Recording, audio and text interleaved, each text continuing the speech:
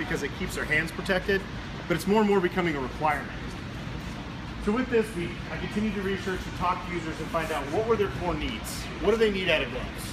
And it really came back to two things: durability and comfort. So to address the first issue of durability, we did a couple different things. First and foremost, all of the key wear areas, such as the fingertips and palms, are going to be completely reinforced to provide that ultimate durability that our users need. And the second thing is comfort. How can we make these gloves comfortable enough to wear all day?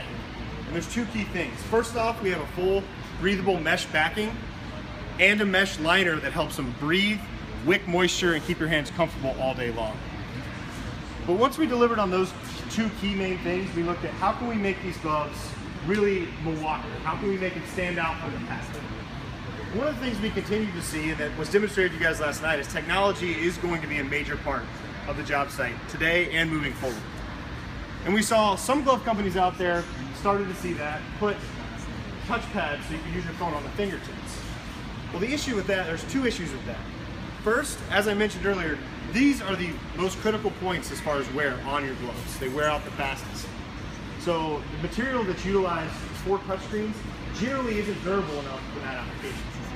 Second, as James mentioned to you guys earlier, if you're working with black pipe or really any application where you're going to need gloves, your hands are going to be dirty, they're going to be oily, they're going to have metal chips on them. And that's the last thing you want to swipe a coffee in front of your phone. So we looked at it a little bit differently and said, how can we make these gloves still work with smart devices and touchscreens, but eliminate those two issues? And it really came down to just relocating the touchpad. So we actually have a Smartswipe knuckle that allows users still to have the functionality of swiping open their phone so they can answer a call quickly, but not compromise on durability or compromise on their phone's durability by scratching up the screen. And then finally, one of the other things we deliver on to really add to that comfort piece was he added terry cloth to the thumb so you have a nice sweat wipe to wipe across your nose or forehead on a hot day.